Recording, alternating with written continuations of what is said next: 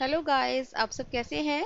आज मैं आपके लिए लेकर आई हूँ बटर मसाला पनीर रेसिपी जी हाँ ये बहुत ही आसान रेसिपी है। इसे बनने में भी बहुत कम समय लगा है। अगर आप कुछ डिफरेंट बनाना चाहते हैं तो इसे ज़रूर ट्राई कीजिएगा। अगर आपके घर में रिश्तेदार आए हैं और आप उन्हें कुछ खास खिलाना चाहते हैं तो यह पनीर की सब्ज़ी बेस्ट है। इसे बनने में भी बहुत कम समय लगा है और ये होती भी बहुत स्वादिष्ट है। तो चलिए हम चलते हैं आज की रेसिपी की ओर। ज्योत्सना किचन में आपका स्वागत है। रेसिपी पसंद आने पर प्लीज़ मेरे चैनल को सब्सक्राइब और लाइक ज़रूर कीजिएगा और बेल आइकन ज़रूर दबाएँ। रेसिपी बनाने के लिए मैंने यहाँ 350 ग्राम पनीर लिया है। मैंने इन पनीर के टुकड़ों को इस तरीके से काटा है। अब यहाँ मैंने एक कढ़ाई ली है और तीन चम्मच सरसों का तेल इस्तेमाल किया है।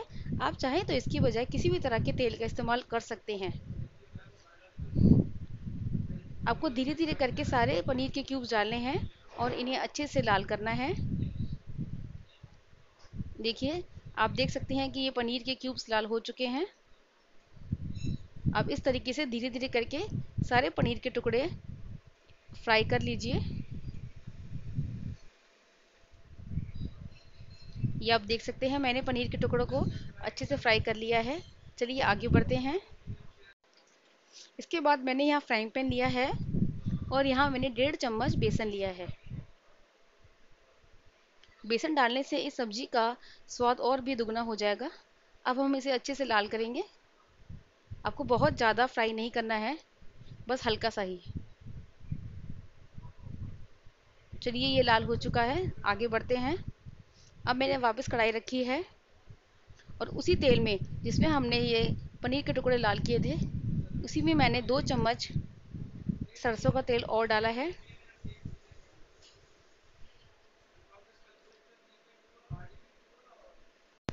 तेल हमारा लाल हो चुका है। अब इसके बाद मैंने यहाँ एक चम्मच बटर डाला है। बटर डालने से सरसों के तेल में झाग आएँगे, पर कोई बात नहीं। धीरे धीरे करके ये झाग अपने आप ही ख़त्म हो जाएँगे।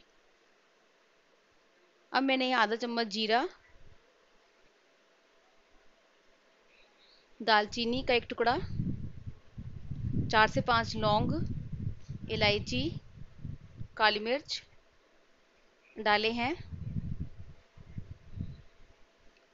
इसके बाद मैंने यहाँ दो साबुत लाल मिर्च डाली है। अब हम इन्हें अच्छे से लाल करेंगे। यहाँ मैंने तीन मीडियम साइज़ की कटी हुई प्याज डाली है।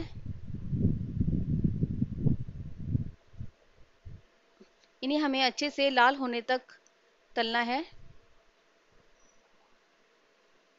देखिए, हमारी ये प्याज अच्छे से ब्राउन हो चुकी है।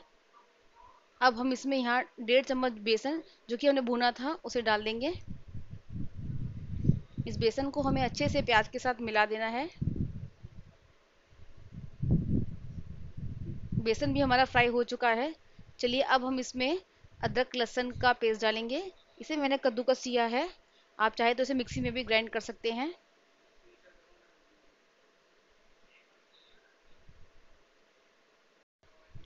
चलिए अब मैं इसमें मसाला डालूँगी। थोड़ा सा मैंने यहाँ हींग लिया है।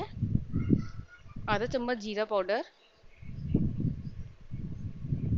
एक चम्मच धनिया पाउडर। आधा चम्मच नमक या स्वादानुसार नमक। एक चौथाई चम्मच हल्दी। आधा चम्मच लाल मिर्च। एक बटा चार चम्मच गरम मसाला। और थोड़ा सा पानी लेंगे और इन सभी मसालों को हम अच्छे से मिलाएँगे।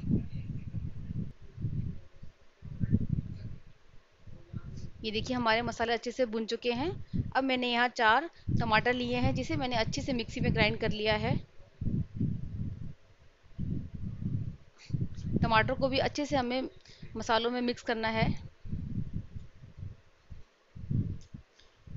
इसे कम से कम दो मिनट के लिए लो फ्लेम पे पकाएँगे। चलिए दो मिनट हो चुके हैं। मसालों में से बहुत ही अच्छी खुशबू आ रही है। अब मैंने यहाँ तीन चम्मच दही लिया है। दही को भी हमें अच्छे से इन मसालों में ही मिक्स करना है।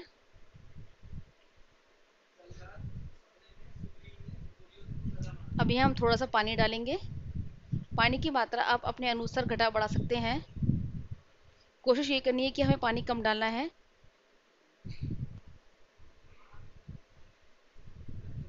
आप देख सकते हैं कि हमारा ये ग्रेवी तैयार है। अब मैंने यहाँ इसमें कसूरी मेथी डाली है। कसूरी मेथी डालने से इस ग्रेवी की खुशबू और भी अच्छी हो जाएगी। अब सारे के सारे पनीर के टुकड़े मैंने यहाँ डाल दिए हैं। थोड़ी देर के लिए हम इनका ढक के रखेंगे ताकि इन सभी मसालों का फ्लेवर पनीर में आ जाए। दो से तीन मिनट काफ़ी हैं।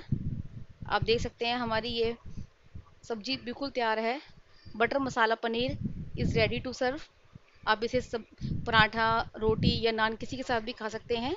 अगर आपको मेरी आज की रेसिपी पसंद आए तो प्लीज़ मेरे चैनल को सब्सक्राइब और लाइक करना बिल्कुल ना भूलें। Thanks for watching